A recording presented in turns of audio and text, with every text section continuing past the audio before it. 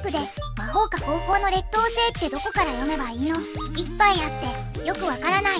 そんな人のために今日は魔法科高校の劣等生について解説していくよ。アニメも始まったしね。楽しみ。魔法科高校の劣等生シリーズは魔法が技術として体系化された世界で繰り広げられる学園ファンタジーだ。魔法師の育成を目的とした国立魔法大学附属第一高校に主人公の柴達也と妹のみゆきが入学するところから物語は始まる。ふむふむ。でどこから読めばいいの？今話した通り最初は入学編から読めばいいんだ。なるほど。思ったより簡単な話だった。そうなんだ。実は観光順に読んでいけば何の問題もない。で次はどれを読めばいいの？次は休校戦編を読めばいいんだ。どんな話なの？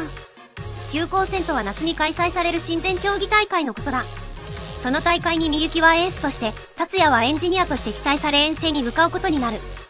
エンジニア。CAD と呼ばれる魔法を発動するための起動式が記録された。魔法発動を簡略化高速化するデバイスの調整を任されたんだ。ライブラリ的な。合ってるような合ってないような。とにかく急行線を舞台に繰り広げられるシリーズ屈指の人気エピソードだ。読んでみる。その次は何を読めばいいの？次は横浜ソーラン編を読めばいい。中華街の話？違う。論文コンペに達也が参加することになりその会場が横浜だったんだ。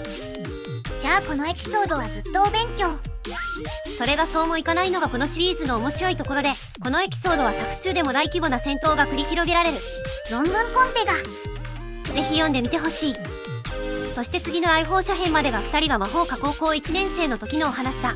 誰かが来るの北アメリカから資格が来る。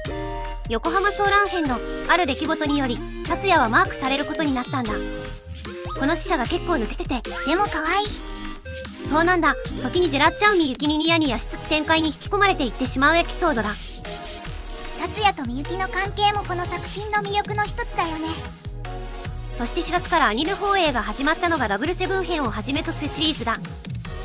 ここからは達也とみゆきが2年生になり後輩も登場するアニメを見つつ我慢できなくなったら漫画アップで読むのが2の楽しみ方よね。間違いないね。